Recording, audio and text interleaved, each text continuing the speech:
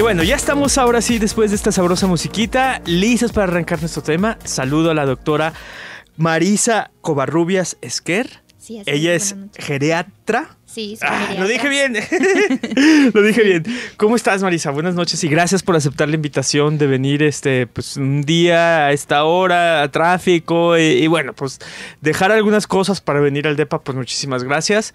Y bueno, geriatría. ¿Qué es esto y desde hace cuánto este, la sociedad, los colegios, las universidades, bueno, las personas decidieron este, como bueno, vamos a, entender al adulto mayor y hay que especializarnos. Claro. Bueno, mucho, antes que nada, muchas gracias por invitarme. Estoy eh, muy contenta de estar aquí. Creo que es el tema, pues obviamente lo mío, lo que me gusta, ¿no? Y lo que me apasiona hacer pues la importancia de, del geriatra nace este, a partir de que envejecemos, ¿no? O sea, creo que antes la sociedad, eh, la expectativa de vida era en gente pues mucho más joven, ¿no? O sea, la expectativa de vida era al 50, 60 años y eso ya se ha ido alargando cada vez más. Ahorita en México son 86 para mujeres, 81 para varones, o sea, más o menos ya llegamos a los 80 años, quiero decir. Entonces, al haber este boom demográfico, poblacional que nunca antes en la historia se había visto, pues entonces toma esta importancia, ¿no? O sea, el envejecimiento, el por qué envejecemos, cómo envejecemos, eh, qué vamos a hacer, porque esta población cada vez es, es más, cada vez somos eh, más, bueno, todavía yo no entro en esa, en esa brecha poblacional, pero cada vez son más adultos mayores. Este, se estima que en el 2050 vamos a ser todavía más, o sea, mayores de 60 años, y de ahí nace la importancia, ¿no? Los retos que esto significa para, para la sociedad, para el sistema de salud, porque obviamente al envejecer eh, venimos cargando pues enfermedades, ¿no? Discapacidades o dependencia y eso es justo lo que hace un geriatra, ¿no? Prevenir, prevenir la dependencia funcional, que un adulto mayor este, con sus enfermedades y con sus limitantes de que caminen a lo mejor un poco más despacio, que no escuchen eh, lo suficientemente bien, pero que puedan ser válidos, que puedan ser independientes en su vida diaria, ¿no? Que se puedan bañar solos, este, caminar, eh, preparar eh, la comida, comer, ¿no? Todo esto que, que tengan buena calidad de vida. O sea, no, perdón. No, no, dale, dale. Ahorita se, se habla un poco de, de, darle, o sea, más vida, ¿no? A la gente, pero yo creo que diría es calidad de vida. No son más años nada más, sino que esos años que estamos logrando como, como generación ver que esa gente adulta mayor, pues que esté con buena calidad de vida y que y disfruten y que sean felices, ¿no? Es que qué fácil decir, bueno, vamos a darles vida, ¿no? Pero ¿qué tipo de vida? Claro. Porque puede ser que, algunos este, adultos mayores les estén dando una vida, pero de sufrimiento, ¿no? Sí. Regañándolos, este, quítate, hazte para allá. Hay mucho maltrato a la vejez. O sea, inconscientemente no lo vemos, que es como un maltrato y es abuso también. ¿Cuántos hijos no abusan, no? Que están con recibiendo una pensión y de esa pensión no solamente vive el adulto mayor, sino toda una familia y el adulto mayor no tiene para comprar sus medicamentos o no tiene para poder hacer uso, ¿no? De ese dinero y de sus necesidades porque de ese, de ese dinero de abusan, por eso digo, de, de, toda su familia, ¿no? Y eso no lo entendemos como tal. Claro, ¿no? ¿Cuántos casos de que de, y ahora más con este tema de que eh, las pensiones, pues este, antes a lo mejor el adulto mayor iba a alguna oficina y le daban su dinerito y en un sobre él firmaba y vámonos, ¿no? Pero ahora ya todo se deposita en, en los bancos, ¿no? Y este, y este el cajero. Y entonces, este, pues desafortunadamente ellos no tuvieron como este contacto con la tecnología y, y ahí vienen los abusos, ¿no? De, de, de, algunos sobrinos, hijos, este, de, de, los más vivillos, digamos, claro. ¿no? Eh, el geriatra tiene que, que, tiene que estudiar muchos, muchas áreas, ¿no? Sí. Nutrición, sí. una, este, medicina, obviamente. Claro. Psicología, pero por supuesto, claro. este... Eh, la parte mental o cognitiva, ¿no? La memoria, que eso es algo sí. que ahorita la demencia que está tan en boom y en boga, el Alzheimer, que todo el mundo también habla de eso y que es algo como tan importante mantener.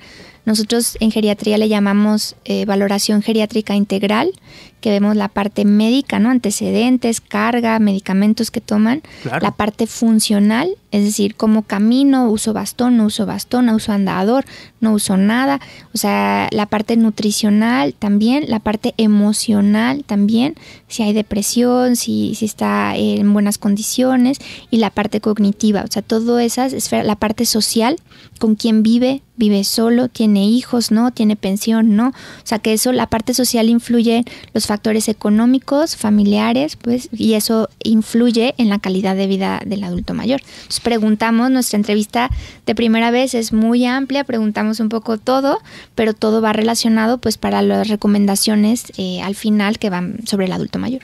Este, ¿Qué es más difícil, doctora? Este, el, el, el, adulto mayor, a, tratar con el adulto mayor o con la familia.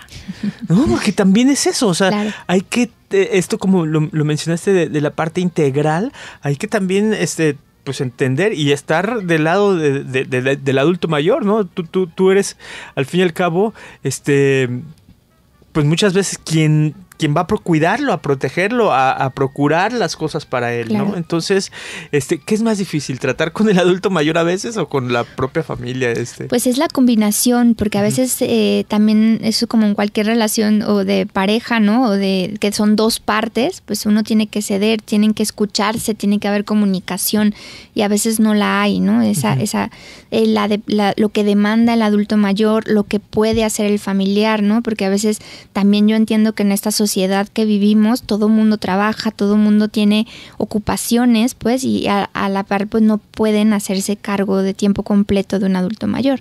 Pero entonces, al, al ir al consultorio y al tener una lista de problemas, ¿no? Se intenta acordar, hacer acuerdos de acuerdo a, las necesidades o al estilo de vida que lleven cada quien, ¿no? Bueno, tiene, es el adulto mayor y tiene seis hijos, pero de los seis hijos nada más vive uno aquí en Guadalajara. Entonces ese uno se siente sobrecargado porque tiene que trabajar, porque tiene su familia, sus hijos y, todo, ¿no? Entonces es como, ok, entonces el adulto mayor puede estar solo, a lo mejor nada más hay una persona que la supervise. Entonces esa persona que pueda acompañarle, ayudarle en las actividades de, la vida diaria, cuánto cuesta. Entonces es más que nada el aporte económico y no es esa persona que tenga que dejar de hacer todo, ¿no? Para abocarse a él. Pero entonces estamos respondiendo a una necesidad del adulto mayor y tenemos como ese acuerdo creo que cada familia, cada adulto mayor es, es único, o sea, digo todas las personas, ¿verdad? Pero ellos son, eh, vienen con una carga eh, de enfermedades, de vida, de, de, hábitos muy diferente y eso es lo que hace cada caso eh, una forma muy diferente de tratar y de intervenir. O sea, su familia y todo y las recomendaciones por eso varían. Pero siempre, obviamente, mi finalidad como especialista es promover la, el bienestar del adulto mayor sin perjudicar a nadie, ¿no? O sea, entonces intentan hacer acuerdos, si, si la familia no puede, pues es centros de día, estancias de día que le llaman, para que entonces lo puedan llevar y estar él allí acompañado con actividades, con alimentos. Tipo guardería para los niños. como guardería, pero le llaman estancias de día y que son para adultos mayores.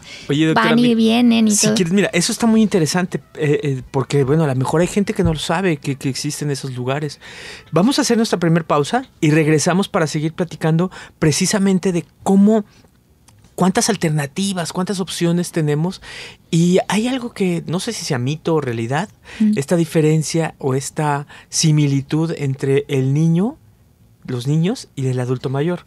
Que de entrada, pues, este, el adulto mayor tiene una vida, ¿no? Que puede haber sido una vida, pues, muy dichosa o una vida con mucha pues con mucha problemática, dolor, sufrimiento, ¿no? Entonces, ¿cómo, eh, si es cierto que en algún momento hay una similitud Ahorita sí, a lo mejor. cuento. Bueno, ahí venimos, no se vayan, esto es el DEPA y estamos hablando con la doctora Marisa Covarrubias precisamente sobre el eh, que este próximo domingo 26, 28, 28, es que me iba a poner a contar, 28 de agosto se celebra el Día del Adulto Mayor en eh, México, ¿verdad? Nada más. Bueno, ahí venimos, no se vayan. Estamos de vuelta con ustedes y seguimos platicando sobre el adulto mayor que a lo mejor, bueno, todos sabemos o la gran mayoría sabemos que en países como en, de Europa, este, el, adulto mayor es quien vemos más. Los jóvenes no Pero nosotros, ahorita nos estaba diciendo la doctora que nos estamos acercando muy rápido a esas estadísticas. Sí vemos chavitos, sí vemos muchos jóvenes, este, el país, el futuro es de los jóvenes y todo, pero al final, si hay este, buena salud, si, si hay este no sé cómo le quieran llamar, pues vas a llegar a ser adulto, adulto, adulto mayor, ¿no? Y entonces, la pregunta era, este, hay, existen muchas opciones para que el adulto mayor que, está en casa, que es que de alguna u otra forma se puede convertir en una responsabilidad nuestra, porque tú fuiste su responsabilidad en algún momento, o más bien esa persona eh, eh, se hizo responsable de ti. Sí, cuidó de ti. cuidó de ti, ¿no? Y entonces ahora es momento de regresar, cuando pues está enfermito, camina más despacio, no escucha bien, se le olvidan algunas ondas, este, algunas veces se ponen los, adultos mayores muy divertidos, ¿no? También, este, y entonces hay que cuidarlos. Pero, pero es difícil. Sí, no, o sea, definitivamente no es fácil y hay que tener la información para hacerlo de una forma adecuada. Tú en un principio dijiste Europa, sí, o sea, Europa es un continente que ya tiene eh, mucho tiempo envejecido, o sea, ya la población allá es mayormente eh, mayor de 60 años.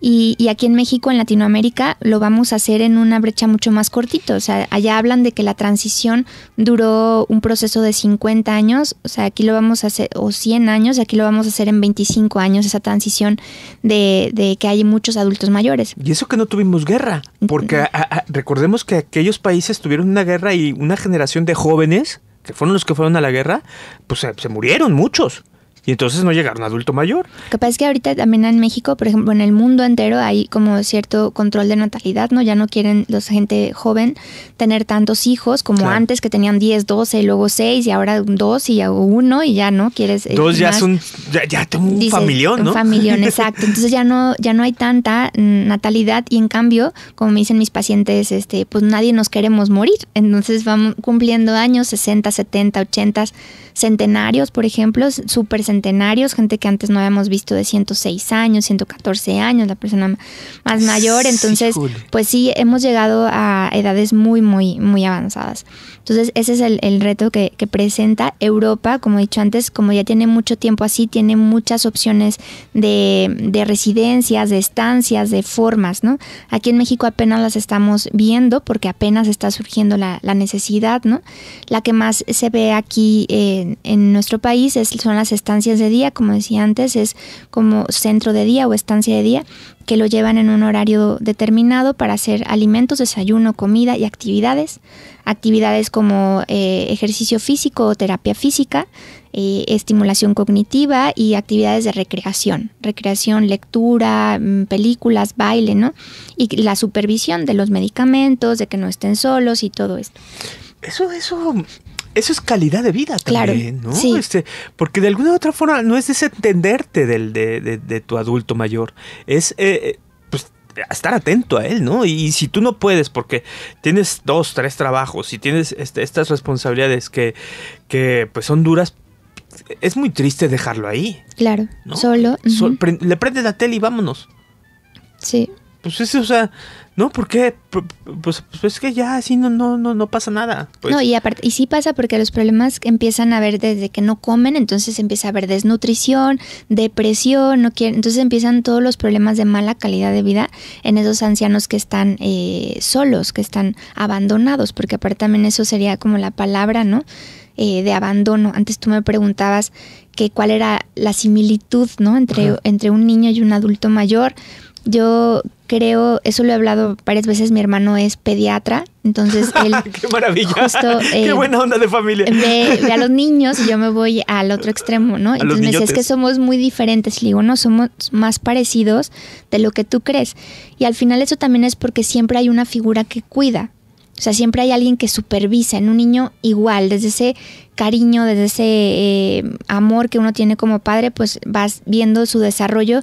En un bebé, pues tienes que hacerle todo y conforme va creciendo y madurando, le vas ayudando menos y va teniendo más independencia. En un adulto mayor eso es justo al revés, o sea, hay como una involución, se podría decir, en cuanto a las actividades, ¿no? Va dejando de hacer cosas y va necesitando más de tu ayuda. Conforme más dependiente se vuelve el adulto mayor, pues más necesita de ti al punto que hay adultos mayores que, usan pañal, que están encamados, que le tienen que dar de comer. ¿no? Eso es la dependencia máxima que de un adulto mayor que necesita un cuidador 24 horas y eso pues no es una buena calidad de vida y eso es lo que intenta prevenir el, el geriatra.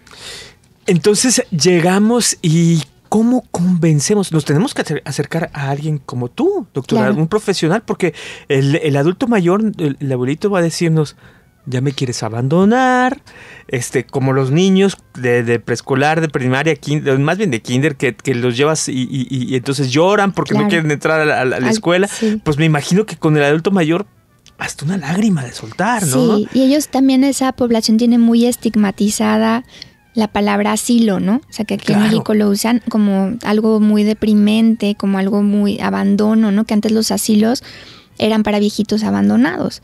O sea, aquí no, o sea, la, la idea de, de, los niveles de atención del adulto mayor es como en los niños, como antes tú decías, tienen estancias, tienen guarderías y ese mismo, cada vez hay más, ¿no? Guarderías bilingües con miles de actividades y los niños son felices allí. Pues eh, en un poco en adultos mayores, cada vez la idea es que esos centros de atención sean muy especializados, con personal capacitado, que sepa cómo atender al adulto mayor, cómo tratarlo, las actividades obviamente dirigidas y pensadas para ellos, pues para darles más calidad de vida y que estén contentos realmente allí, porque hay gente que tiene mucha reticencia a ir, pero luego ya una vez que van, Señor, ya aquí ya no me quiero ir, o sea, porque me la paso padrísimo, ¿no? Juego dominó, ajedrez, ya, ya, cartas. Listo yo, ¿no? En la puerta, y, platican y tienen una convivencia con un entorno, pues igual a ellos se sienten acogidos, queridos, o sea, acompañados, o sea, la verdad que eso es algo muy, muy bonito. Y entonces ya puedes eh, ir pasar por él, tipo en la tarde, En la tarde, cuando salga del trabajo, sí, que vuelva a casa a, dormir, ¿Son caros estos, estos centros, estos, este, albergues. No, son centros de día. Hay también casas de retiro que le llaman. Ajá, casas de retiro. Casas de retiro que ahí sí ya duermen, ¿no? Personas que no tienen hijos, que también sea que, que, son o que son solteros de, de, toda la vida, ¿no? Y que envejecen, entonces que no hay quien se haga cargo de ellos directamente o que tenga esa responsabilidad directa. No están los hermanos o los sobrinos, pero no hay una responsabilidad directa y lo llevan a, a una casa de descanso, casa de retiro esas también son un poco más, más costosas, ¿no? Sí hay eh, que de todos los precios, pero sí son un poco más caras. Las estancias de día depende las horas, pues si es como una guardería, dependen de los alimentos, si de desayuno, comida, cena, nada más desayuno, comida, solamente comida, las actividades en las que participe. El DIF, el DIF Zapopan, DIF Guadalajara tienen este, estancias de día, tienen una oferta este, de menú que es una cuota de recuperación bastante accesible y las actividades que hay allí pues son de todo tipo. Entonces hay eh, públicos, como lo del DIF, he dicho antes, privados y pues hay para todos los bolsillos, yo supongo. Qué bueno, qué bueno, qué bueno, porque este, digo, de alguna otra forma podemos pensar que todo esto pues nos puede costar muy, caro, ¿no? Sí. Pero como dices, pues hay de para todos los bolsillos y, y, eso está muy, muy bueno. Vamos a hacer nuestra siguiente pausa y ahorita regresamos para seguir platicando con la doctora y sobre mm, esta especialización, cómo, cómo vas, a, qué, necesitas estudiar previo para convertirte en un... eso, ahí venimos, no se vayan.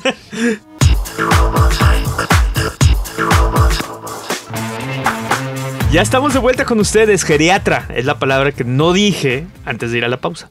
Y entonces, eh, ¿Debo de estar eh, especializado o debo de haber terminado la carrera de medicina o la carrera de psicología? No, es medicina general, o ah. sea, médico general. Aparte, haces aquí antes el programa ha ido cambiando por esta necesidad que tenemos de que haya geriatras, ¿no? Aquí en México era hacer medicina interna entera cuatro años y luego dos años más de geriatría. O sea, eran seis años de ser especialista. Eh, ahorita se modificó, son cuatro años de entrada directa a geriatría. O sea, haces cuatro años para, para ser geriatra, después de haber hecho medicina general. O sea, son diez. ¡Wow! De estudios son diez. Seis de medicina y cuatro de, de, geriatría. Mejor, ¿no? Mejor, porque, porque este, digo, salen personas más capacitadas, más preparadas, porque precisamente, pues, este hemos encontrado que es muy difícil. ¿no? ¿Cómo, cómo, cómo convences, por ejemplo, a que se vaya un, un adulto mayor, tu doctora, a una, eh, a una, a una de estas este de, de, de estancia mm. iba a decir casa de estancia pero una estancia este de, poco tiempo no de, día. Bueno, yo todavía tengo a mi abuelita de 91 años y ella también era de las que estaba muy reticente a ir, ¿no? A estos lugares y pues es insistir, yo siempre le digo a mis pacientes o a los familiares, ¿no? Que es insistir en, bueno, ve y prueba si no te gusta, eh, porque a veces tampoco es que al primer centro que encuentren es el que le va a encantar, ¿no? Sino que esto es como cuando uno va a clases de algo y dices, voy a clases de inglés a este lugar y no me gustaron, mejor me cambio, o voy a clases de natación y este lugar no me convenció es igual, ¿no? O sea, tú vas a un lugar de este tipo y es probarlo, o sea, que se, ellos que si sí cumple como con sus necesidades, con su sensación de bienestar, y es insistir en que sí, que es por su bien, que es para que esté mejor, que va a ver cómo va a ir mejorando, ¿no? Insistir a los primeros días y si es algo que, que a él se va acoplando, luego ya como le digo, ya no lo sacas de allí. Si no se acopla, pues es buscar otra, otra opción, ¿no? De acuerdo a cada paciente. No puedo generalizar, o sea, no puedo decir a todos les encanta, ¿no? Hay personalidades de adultos mayores que, que nunca han sido sociables que no es lo suyo y que realmente no son felices, ¿no? Entonces, sí, pero si nunca lo han hecho, si nunca les ha gustado ver el, el, el fútbol, ni nunca les ha gustado jugar dominó, a los 40 o a los 50, a los 80 tampoco les va a gustar. Entonces es ver qué le gusta hacer a mi papá, qué le gusta hacer a mi abuelito y o lo que siempre le ha gustado, intentar que eso sea lo que busco yo, ¿no?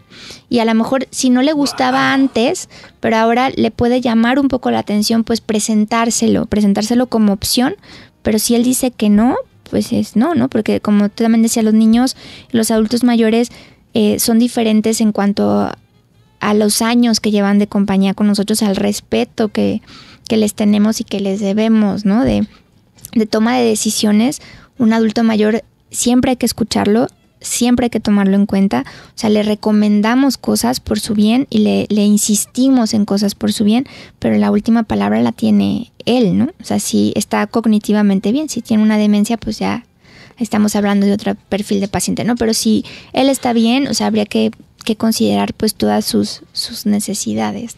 Claro, sí, digo, al niño no, no, ese, no, no le puedes decir no, si tienes la oportunidad, si tienes este eh, el tiempo y todo de, que practique, por ejemplo, natación, que sabes que puede ser un deporte que le va a salvar la vida. Claro. Creo que es el único deporte que puede salvarle la vida. Pues quieras o no, pues, aprende, o sea, nada más eh, aprende, pues, para que todos estemos tranquilos cuando estemos en algún lugar que haya ahí este, una pileta, algo, ¿no? Y, si te caes, si te resbalas, pues salgas, ¿no? Y al adulto mayor, si está este, apto con sus capacidades este, intelectuales, pues, pueda decidir y, y, al final él sí va a decir, ¿sabes qué? no me lleves. Claro. Y ahí, por ejemplo, entraría la parte de uno, como lo conoces, que yo no te puedo dar de comer y estás perdiendo mucho peso, estás desnutrido. Entonces necesito que vayas, porque necesito que vayas a comer. A lo mejor no participes en ninguna actividad, pero necesito que vayas, que te supervisen, o sea, que te den el alimento y tus medicamentos y paso por ti en cuanto salga el trabajo, ¿no? Y es como el acordar, el decir, yo como como cuidador que soy o como tu hijo, lo que yo puedo hacer es esto.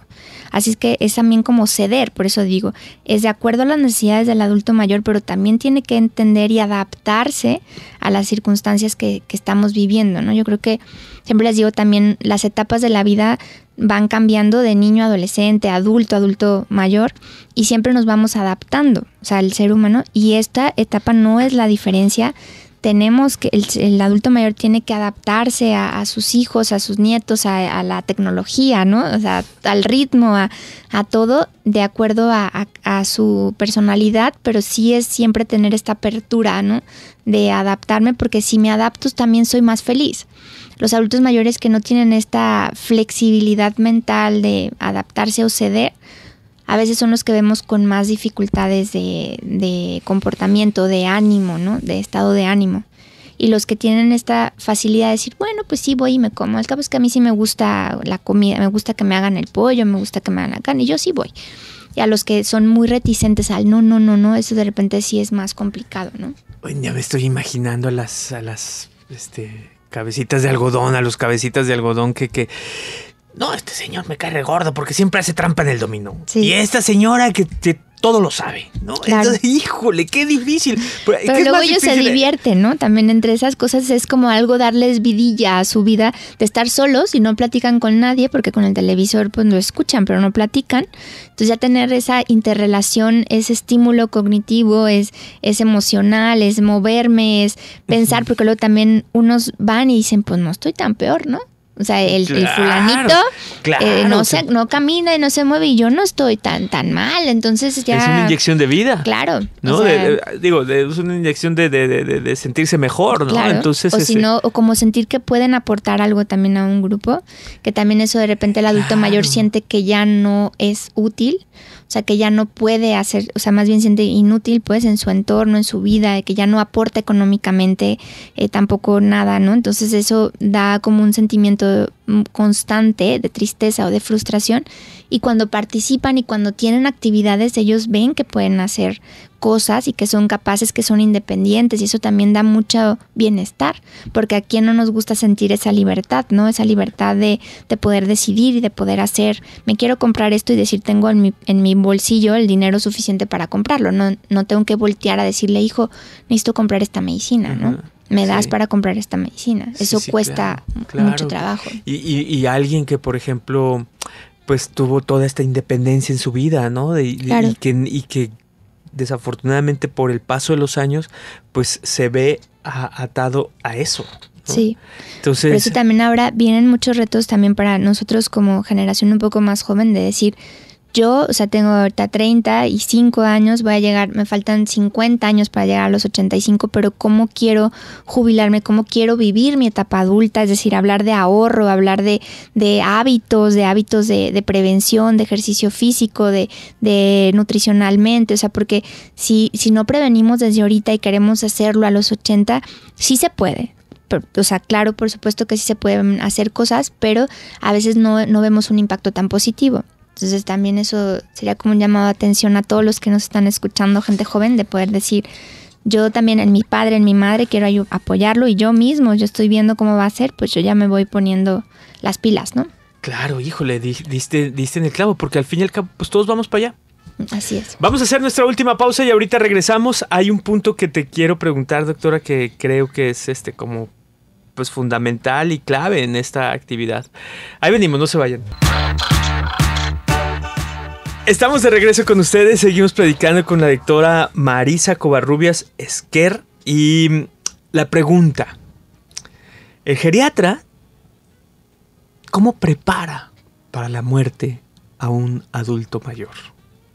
Porque bueno, la familia de alguna u otra forma este, puede estar diciendo, pues sí, cada vez pierde más la memoria, cada vez se mueve menos, este, como que te empiezas a dar la idea, ¿no? De que ya se está acercando ese momento. El adulto mayor obviamente lo está viviendo. Sí. Pero él es el que le va a suceder ese asunto. Claro. Ellos son hasta los más conscientes, ¿no? En esta etapa y, lo, piensan constantemente, piensan constantemente en la muerte, quiero decir, ¿no?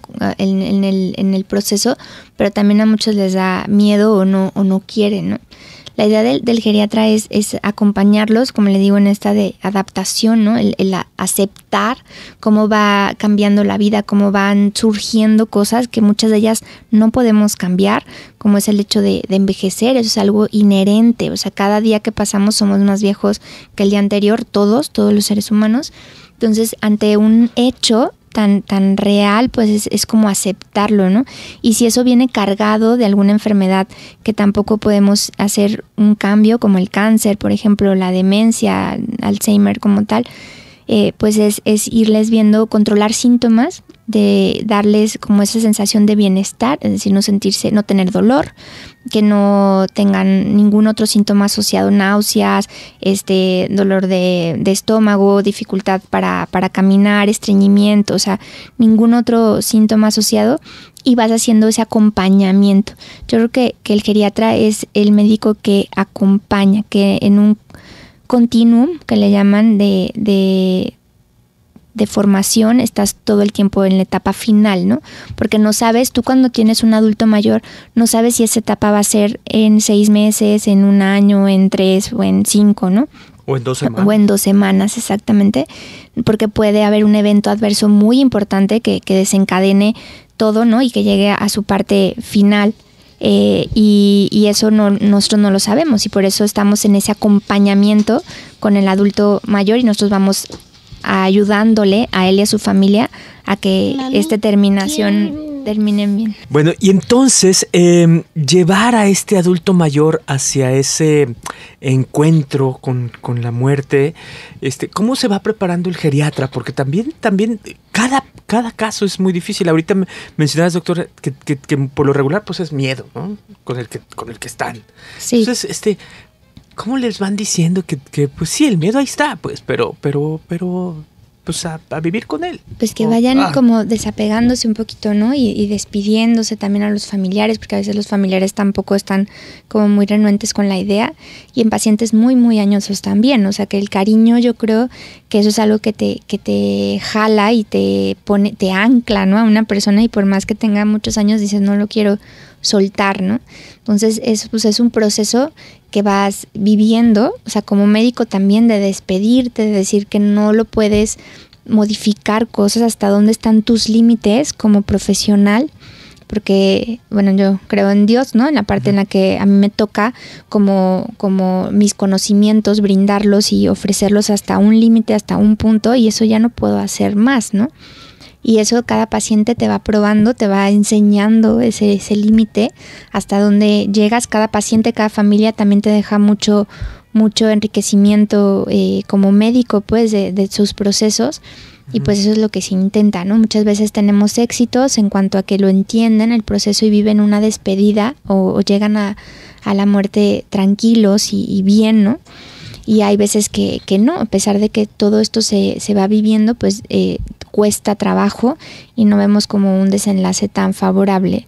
Pero bueno, de la parte de como profesional hablo que siempre se intenta estar acompañados, que si no solamente es el geriatra, el geriatra nos enseñan mucho también a trabajar en equipo, es decir, si yo necesito la, el apoyo de un psicólogo, eh, de un tanatólogo, de, de, alguien que venga y que asesore a la familia en esta etapa primordialmente o a esta persona o a este hijo que, que de veras no lo entiende, ¿no?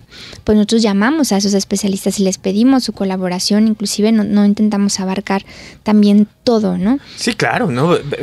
Si no me acordaba de los tanatólogos y precisamente pues ellos están más enfocados ah, en este tema, ¿no? Este, sí. Y, y, sí, este, y sí hay que pedir ayuda, ¿no? Sí. Este, sí hay que acercarse a ellos. A lo mejor no una, a lo mejor el, adulto mayor es quien lo tiene más, más entendido, más eh, resuelto su problema es que sus familiares no lo han entendido, ¿no? Y, es la preocupación que él tiene, ¿no? Entonces, hasta... Sí, como pendientes, ¿no? ¿Qué va a pasar cuando él muera con algo? se con... va a quedar esta niña sí todavía no se... ¿no? O sus cónyuges, a veces los que tienen más problema también es cuando son los dos cónyuges y muy añosos, es como, ¿cómo se va a quedar mi viejito solo, no? Si yo me voy, ¿y qué va a hacer de él? ¿Quién lo va a cuidar? ¿Quién? Es eso de las mortificaciones principales y pues hay que manejarlas, ¿no? Para que ellas no, no sientan esta angustia, ¿no? De poder, de no soltar y no poder irse con, tranquilamente, pues. Sí, despedirse con, eh, digo, con una paz, ¿no? Este, eh, con, con, círculos cerrados, digamos, porque eso también eh, pues, son como temas nuevos, ¿no? Esto de, no puedes llegar con un adulto mayor y decirle, es que tienes que cerrar tus círculos. Claro, no, porque aparte, lo que decía desde el principio, el adulto mayor es amplísimo. O sea, puedes tener un adulto mayor de 80 años que es óptimo, o sea, que tiene un envejecimiento exitoso, que está perfecto. Entonces, tú cuando llega a tu consulta con él hablas de planes a corto plazo, pero planes, proyectos, o sea, clases de computación o clases de algo, ¿no? Y de cómo me quiero meter a clases de danzón o de cachibol o de, no sé, y proyectos así en cortito, pero si él está tan bien y la vida se lo permite y le ha dado salud y bienestar, pues es aprovecharlo, ¿no? Que eso es al final, te digo, como la, la principalmente al geriatra es que tener ese envejecimiento exitoso. Y si por otra parte tenemos un paciente que está en esta etapa final o con una enfermedad, también es apoyarlo y también estar allí. Pero no podemos tratar al mismo tiempo, como dices, ni hablarle de lo mismo a un paciente y a otro, ¿no? De acuerdo a su valoración, de acuerdo a sus expectativas, de acuerdo a sus enfermedades y todo, pues se le va dando como una directriz de prevención, de recomendaciones, de actividad física, de todo, a él y a su familia. O sea, no... Sí, a él y a su familia, porque eh, son dos, ¿no? Y se tiene que trabajar en equipo. Eh, doctora, ¿qué es lo que debemos de, recordar este próximo domingo? Que es un día en donde podemos, este, a lo mejor los domingos hay familias que se reúnen y, y, los que tengan todavía a sus abuelos, este, ¿qué pueden hacer? Yo creo que recordarlos, o sea, recordar, porque a veces en esta vida tan ajetreada que tenemos, ¿no? Nos preocupamos nada más por lo por lo primero, o sea, por lo uno que quiere o por los hijos, ¿no? Pero de repente esos, los adultos mayores son los más olvidados, ¿no? Los que dejamos al último en la lista. Creo que el domingo podría ser lo primero en la lista. Ese día es para ellos, el darles esa importancia, o sea, las grandes civilizaciones o las antiguas civilizaciones veneran a los adultos mayores y los veneran por su sabiduría. En una comunidad, este, las personas más importantes son ellos porque son los más sabios, son los que llevan a, en un momento de crisis, por ejemplo, una nación o una sociedad, los llevan al bienestar. No los, los jóvenes ponen la, la fuerza, la lucha, pero los que toman la decisión o los que tienen la sabiduría son los ancianos. Así de importantes son nuestros adultos mayores, así de importantes han sido nuestras vidas, o sea, si no fuera por ellos, obviamente nosotros no estuviéramos aquí, por nuestros padres y nuestros, este, todo esto, pero, pero creo que sí, sería el domingo darles ese cariño, esa importancia, ese abrazo, ese decirle gracias, gracias por todo lo que has hecho por mí, por todo lo que has hecho en tu vida, platicarles, interesarnos, tienen muchísimas cosas que platicarnos, de veras, son súper interesantes, o sea, yo con mi abuelita, por ejemplo, ella me platica cosas y cada vez siempre es el, o sea, temas diferentes y te cuenta de la revolución y te, o sea, porque sí, son etapas completamente diferentes y a veces te llevan a, a una cosa tan esencial, o sea, algo que, que tú envuelto en tu mundo no lo ves ni viable, ¿no? Pero de repente te lo plantan como algo tan, tan tajante y tan simple a la vez que dices, pues sí es cierto, y esa sabiduría se la da a sus 91 años, o sea, yo por más que tenga estudios, posgrado, doctorado y todo esto, o sea, la vida, la vida es la que te va enseñando, ¿no? La vida es la principal maestra, la que te enfrenta a muchas cosas y eso es lo que nos da nuestros adultos mayores y siento que a veces no lo vemos. Claro. A ver, eh, si ya nos vamos, doctora, pero los que nos están escuchando de, y son jóvenes y que no son adultos mayores, Pregúntense este domingo, levántense y pregúntense. Me gustaría que cuando sea un adulto mayor me veneraran, me valoraran, me apreciaran. Ah, pues de la misma forma que les gustaría, traten a su adulto mayor. Claro, así es. Y ¿no? o sea, voy a hacerle la sopa que le gusta, el postre que le gusta, le voy a llevar a dar la vuelta, o sea, y si no quiere dar la vuelta, lo voy a ir a visitar, le voy a poner música, a la que le escucha, le voy a llevar el, el vino, el coro, algo que, no sé, es eso, los adultos mayores también son, como dije antes, muy sencillos, muy simples y de veras que el gesto, cualquier gesto que tengamos hacia ellos es tan agradecido y los ponen tan contentos con tan poquito, o sea, que, yo dijera sí, o sea, de veras que es muy sencillo. Perfecto, doctora Marisa eh, Covarrubias, muchísimas gracias por haber venido a este a este DEPA que creo que pues este para muchos pues, para mí, su servidor, este, perdón por ponerme así en primera persona, pero creo que es importante pensar en nuestros adultos mayores. Espero que la gente que haya escuchado este programa se haya ido con alguna eh, pues noticia, información que sea de valor y que este domingo pues precisamente hagamos eso, valorar, apreciar, eh, venerar a nuestros adultos. Sí, así es. Bueno, muchísimas gracias, doctora. gracias por felicidades y, felicidades a todos los adultos mayores. Exacto, felicidades a todos ellos. Cuídense mucho, se quedan con el doctor Gilberto Martínez y Sonaje. Bye, adiós.